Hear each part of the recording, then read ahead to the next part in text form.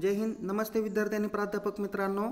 अत्यंत महत्त्वाचा आणि अर्जंट असा हा व्हिडिओ मी बनवलेला आहे ज्यामध्ये इन्व्हायरमेंटल अवेअरनेसचा जो काही क्वेश्चन पेपरचा फॉर्मॅट होता त्यामध्ये थोडासा बदल करण्यात आलेला आहे.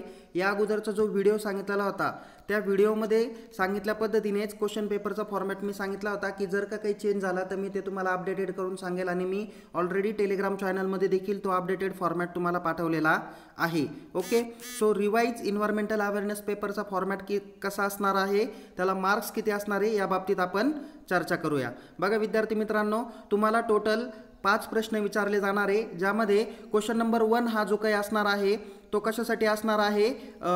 कंपल्सरी क्वेश्चन्स असणार आहे. तर question number second third fourth आणि फिफ्थ हे जे काही क्वेश्चन्स आहे तर यापैकी कोणतेही तीनच प्रश्न काय करायचे आहे तुम्हाला? सॉल्व करायचे आहे. ओके? आणि प्रत्ये तुम्हाला जो काही टाईम ड्युरेशन आहे तो ॲज इट इज दोन तास आहे पण मार्क्स जे काही असणार आहे ते पस्तीस असणार आहे. या अगोदर मी पंचवीस सांगितले होते आत्ताचा जो काही क्वेश्चन पेपरचा फॉर्मॅट आहे तो पंचवीस मार्काचा नसून पस्तीस मार्काचा आहे हे कृपया लक्षात घ्या. त्यामध्ये तुम्हाला बघा प्रश्न पहिला हा तर कंपल्सरी आहे ज्यामध्ये कोणतेही पाच प्रश्न सोडवायचे आहे त्यासाठी पाच मार्क्स देण्यात आलेले आहे. त्यानंतर क्वेश्चन नंबर सेकंड जो काही आहे तर या क्वेश्चन नंबर सेकंडमध्ये तुम्हाला एक ब्रॉड क्वेश्चन विचारला जाणार आहे सहा मार्कासाठीचा तर दुसरा जो प्रश्न असणार आहे तो टिपा लिहा अशा पद्धतीचा असणार आहे. त्यासाठी चार मार्क्स असणार आहे. Same question number second third आणि फोर्थ हे सेमच पॅटर्न तुमचा असणार आहे.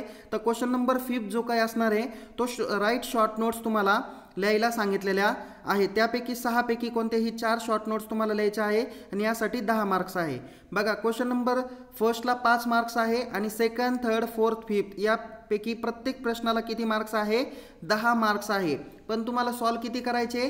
तीनच करायचे. म्हणजे दहावी त्रिक तीस मार्क्स आणि पाय प्रश्न पहिल्याला पाच मार्क्स असे मिळून किती झाले?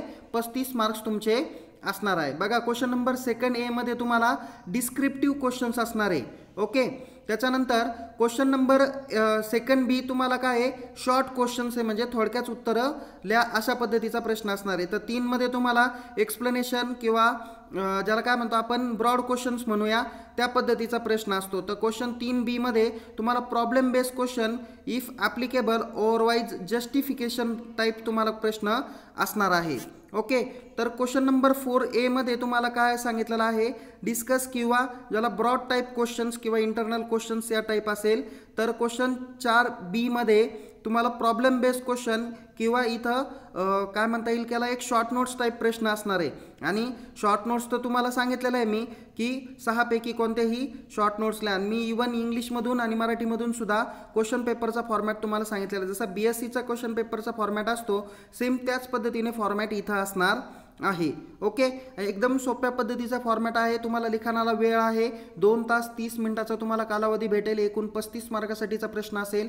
तर हे कृपया नोंद घ्या. आणि टेलिग्राम चॅनलमध्ये सहभागी व्हा तिथे अपडेटेड मॅसेज मी जोही मॅसेज तिथे टाकेल. तर काळजीपूर्वक बघा.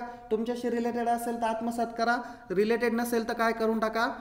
इग्नोर करून टाका. पण जे जे तुमच्या रिलेटेड असतील तर ते काळजीपूर्वक वाचा आणि समजून घ्या. परीक्षेपर्यंत कदाचित तुम्हाला काही महत्त्वाचे प्रश्न त्या बाबतीतले क्वेश्चन पेपरचा फॉर्मॅट हा जर का चेंज झाला तर तो सुद्धा तिथे टाकण्याची शक्यता असते. त्यामुळं तुम्ही या फॉर्मॅटनुसार आता अभ्यास करा. ऑलरेडी तुमचा अभ्यास झाला आहे फक्त एक सराव म्हणून तुम्ही या प्रश्नाकडे बघा. ओके सो तुम्हाला परीक्षेसाठी खूप खूप शुभेच्छा. अद्याप जर का आपण माझे यूट्यूब चॅनलला सबस्क्राईब केलं नसेल तर त्वरित सबस्क्राईब करा आणि अधिक माहितीसाठी टेलिग्राम चॅनलमध्ये सहभागी व्हा. Take care. जय हिंद. धन्यवाद.